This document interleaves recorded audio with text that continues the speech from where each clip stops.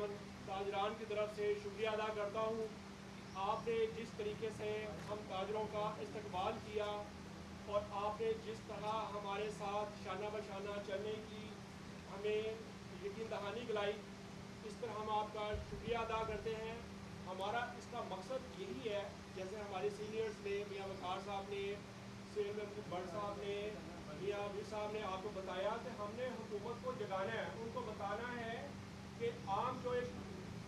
दरमियाना या गरीब आदमी है, या कोई दिहाड़ीदार है, या कोई नौकरी पेशा है, या कोई दरमियाना दुकानदार है, या कोई छोटा वो तमाम अब जो है उनके हालात इतने ख़राब हो गए हैं कि वो अपनी फैमिली का पेट पालने के काबिल भी नहीं रहे।